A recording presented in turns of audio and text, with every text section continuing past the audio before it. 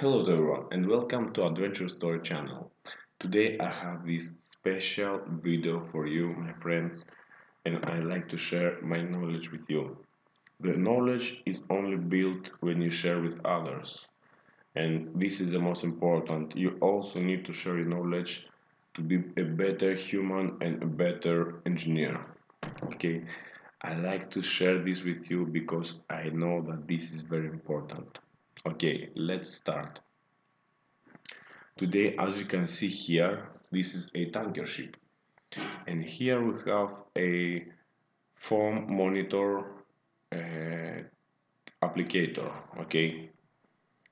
Uh, these valves, because they remain, as we know, on all the ships are open and ready, okay? Uh, if you try to close them, maybe you will cannot do that. The reason is one because these valves remain unclosed and unwork for a long period of time. This is the reason why. And these valves are located on the main deck.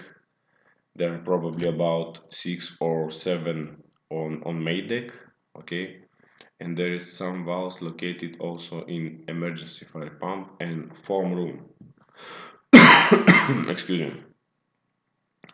In the foam room also there are valves there are a lot of the valves maybe there is 10 or 15 which also must be worked frequently once per month or per two months to see that they are in good shape.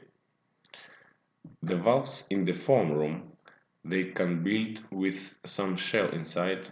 That's why they will extract from the gate valve to move okay and slide down to close position. Let's proceed. I do not have some pictures from valves where it's opened but anyway this valves is slide valves. Okay this is big valves 150 there must be a plant maintenance and be sure that these valves are working because if you're going to USA and Coast Guard maybe check them you will be in trouble. Okay thank you for watching. Stay tuned. I wait for likes for your likes your comments and your subscribes. Bye bye